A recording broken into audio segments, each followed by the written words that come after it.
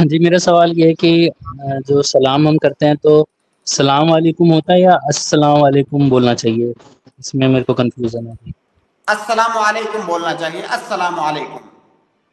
अगर तो आप सलाम अगर आप सलाम बोल रहे हैं तो सलाम अलैकुम कहिए वरना अस्सलाम वालेकुम।